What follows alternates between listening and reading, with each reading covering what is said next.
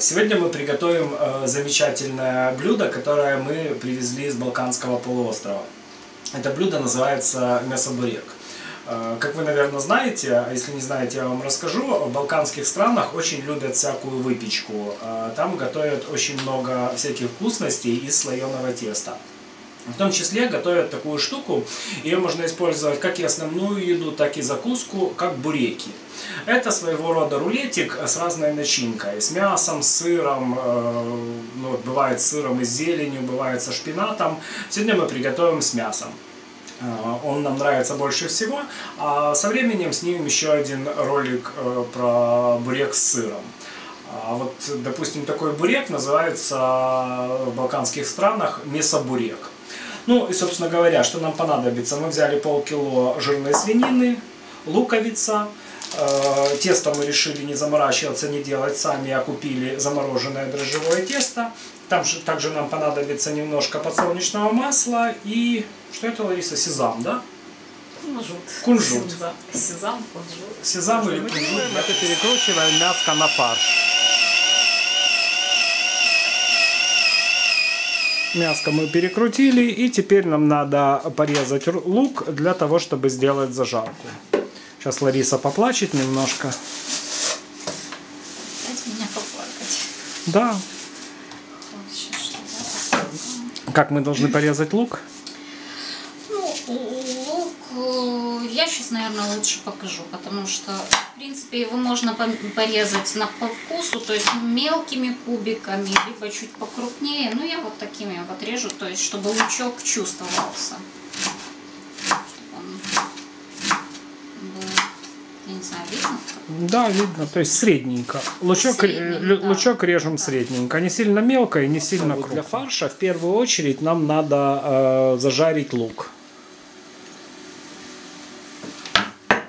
Зажарить его надо до золотистого цвета. Отправляем лучок на сковородку и обжариваем до золотистого. Вот до такого светло-золотистого состояния мы обжарили лучок и теперь добавляем туда фарш.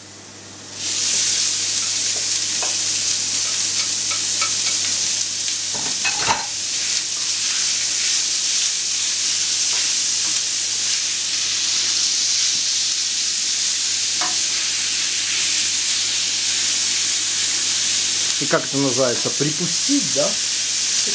Или нет? Ну, в общем, расскажи, что надо сделать с фаршем, чтобы хозяйки поняли тебя. Его нужно немножко обжарить, э, то есть не дожаривать до золотистой корочки, а просто чтобы испарилась жидкость. И надо его помешивать постоянно, чтобы не было больших комочков. Жидкость с фарша э, частично выпарилась, и он практически готов. Вот такой вот он, он немножко изменил цвет, и нам надо его посолить и поперчить. Естественно, перчим и солим мы по вкусу. Я, например, люблю, когда в буреках очень много черного перца. Я вообще люблю много черного перца и в варениках, и в пельменях, и в буреках. Во всем, где и в блинчиках, во всем, где присутствует фарш. Все, в принципе, мы можем выключать. То есть фарш не нужно пересушивать, он должен быть сочный. Но в то же время лишней жидкости тоже не должно быть. Распаковываем дрожжевое тесто. Мы ему, естественно, дали разморозиться. Оно немножко подошло.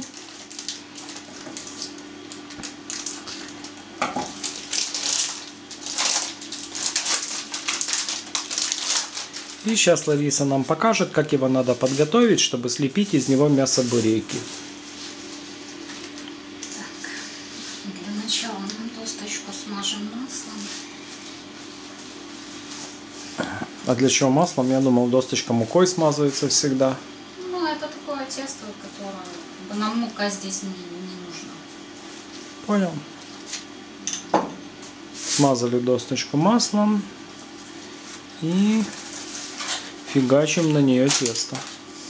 Короче, Ну, типа того. отрезаем полосочку. Полосочка где-то 4-5 сантиметров, да? Вот, значит, поперек, э, поперек рулончика разрезаем такие полосочки. тесто оказалось такой толщины, как нам нужно, поэтому я его раскатывать особо не буду, просто немножко расправлю. Бывает более толстое.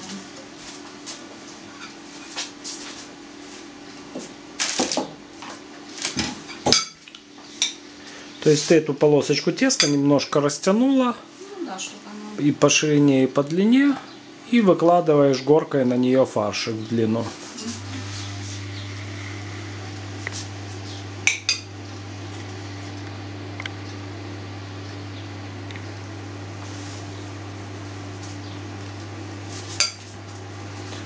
А мне кажется, короткие. Мы там ели более длинные мясобуреки.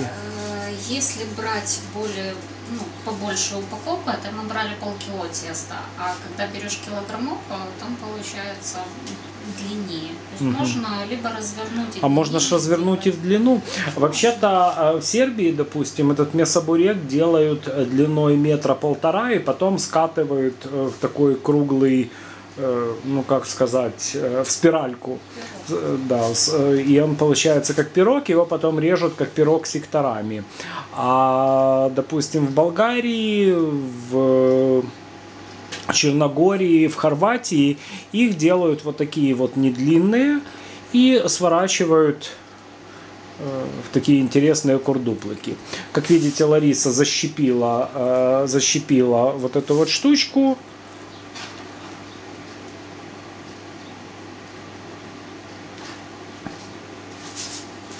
И выкладывает на противень и сразу же формует, формует вот этот вот загадочный курдуплик.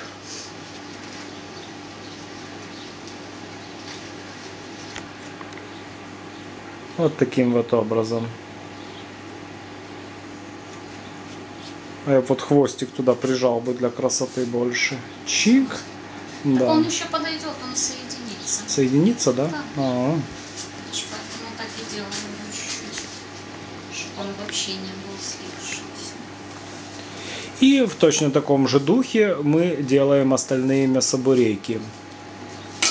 Очень вкусная штука, обожаю ее. Э, Вообще э, балканская, балканская выпечка это, друзья, нечто. И вот мы будем делать, на днях еще будем делать э, плацинду. Это сложная штука из вытяжного теста, которого Ла- Лариса боится. А мне она очень нравится. Тоже очень вкусная штука.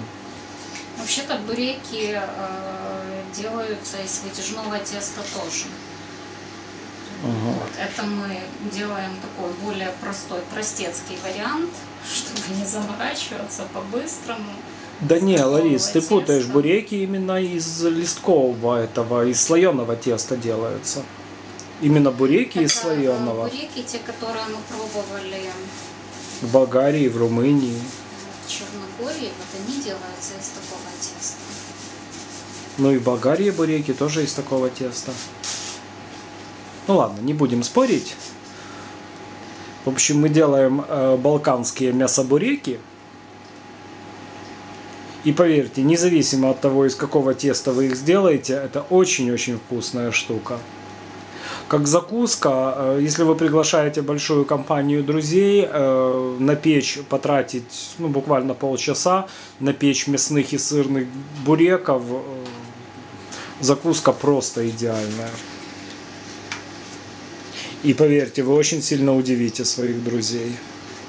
Вот также мы их таким образом формуем. Вот мы подготовили мясо-буреки, мы их оставляем на несколько минут, чтобы они подошли. В это время нам надо взбить яичко.